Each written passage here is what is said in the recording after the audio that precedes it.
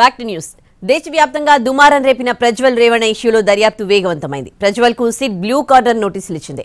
ఇదే కేసులో అరెస్ట్ అయిన హెచ్డి రేవణ్ణను కస్టడీకి అప్పగించింది బెంగళూరు కోర్టు. మరోవైపు బాధితులు ఒక్కొక్కరుగా బయటకు వస్తూ ఉండడంతో కర్ణాటక ప్రభుత్వం కీలక నిర్ణయం తీసుకుంది. అందరికీ అండగా ఉంటామని ప్రకటించింది. కర్ణాటకతో పాటు దేశవ్యాప్తంగా తీవ్ర దుమారం రేపిన సెక్స్ వీడియోల కేసులో కీలక పరిణామాలు చోటు చేసుకున్నాయి. లైంగిక వేధింపుల కేసులో ప్రజ్వల్ రేవణ్కు బ్లూ కార్నర్ నోటీసులు ఇచ్చింది సిట్.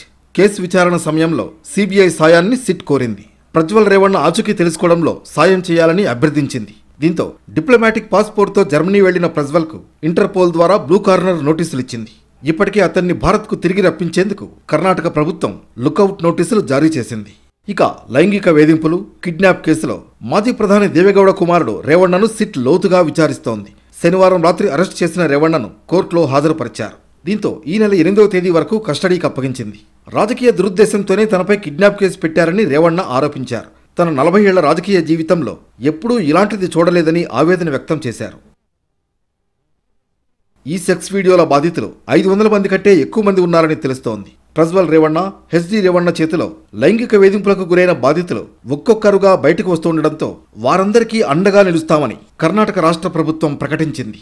బాధితులకు ఆర్థిక సహాయాన్ని అందిస్తామని సిద్ధరామయ్య ప్రభుత్వం స్పష్టం చేసింది. మరోవైపు ప్రస్తుతం ప్రజ్వల్ రేవణ్ణ జర్మనీలో ఉండడంతో అతన్ని భారత్కు రప్పించేందుకు అధికారులు అన్ని రకాల ప్రయత్నాలు చేస్తున్నారు. లోక్సభ ఎన్నికల వేళ లైంగిక వేధింపుల వ్యవహారం వెలుగులోకి రావడంతో ఈ కేసు చివరకు ఎలాంటి మలుపు తిరుగుతుందో అని రాజకీయ వర్గాల్లో ఉత్కంఠ నెలకొంది.